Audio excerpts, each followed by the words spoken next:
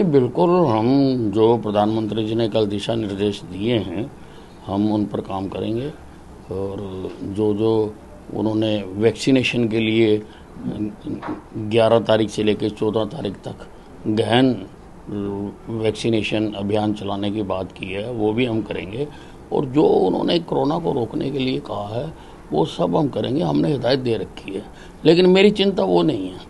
मेरी चिंता वो है कि जो हरियाणा के बॉर्डर के ऊपर आज किसानों का इतना बड़ा जमावड़ा लगा हुआ है, कोरोना बड़ी तेज़ी से फैल रहा है, मुझे उनको भी कोरोना से बचाना है। और मैं केंद्रीय मंत्री, कृषि मंत्री से मैं पत्र भी लिखने वाला हूँ कि बातचीत का सिलसिला दोबारा शुरू किया जा सके, ताकि इस जमावड़े को यहाँ से हटाया जा सके और इनकी समस्या का समाधान किया जा सके, क्योंकि सभी समस्याओं का समाधान बातचीत से ही निकाला जा सकता है। नहीं, हम बिल्कुल जो प्रधानमंत्री जी ने जो जो आदेश दिए हैं, हम उन पर विचार करेंगे और कार्रवाई करेंगे।